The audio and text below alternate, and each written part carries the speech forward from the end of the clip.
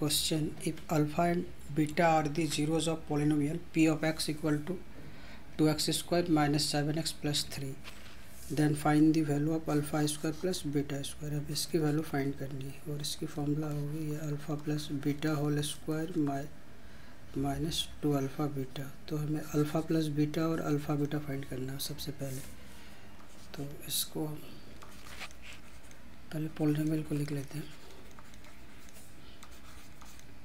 P of X equal to और यहाँ पे here A equal to two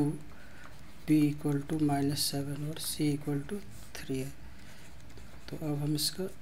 सम निकालेंगे। Sum of zeros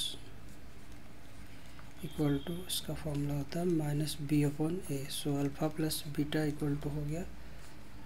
minus seven upon two seven upon two product of zeros equal to इसका formula होता है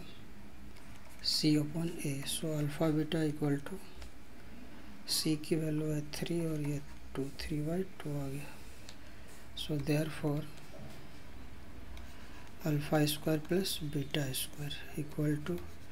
alpha plus beta whole square minus two alpha beta और अब हम वैल्यू पुट कर देंगे alpha plus beta और अल्फ़ा इंटू बीटा का।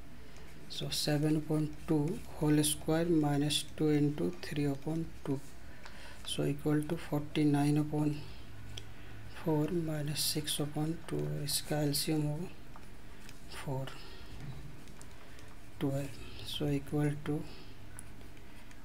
37 upon 4 answer